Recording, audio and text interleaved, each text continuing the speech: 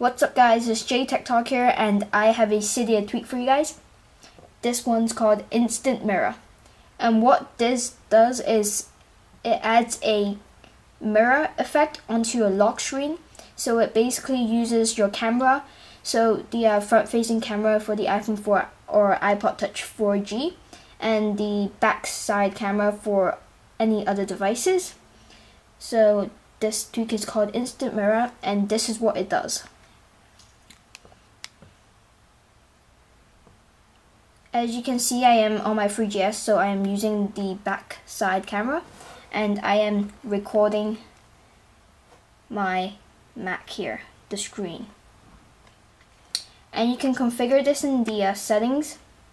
So if I go to settings, and in the instant mirror settings, you can can select the transparency of the video that it is recording, and can keep what keep the wallpaper or disable it, use the autofocus on your camera. Select if you want to auto start it when you unlock your device and start on respring. So if I change the uh, transparency, so around there, and I respring, you can see that the video is pretty transparent. You can see the lock screen can see the video behind the lock screen. So that's really cool.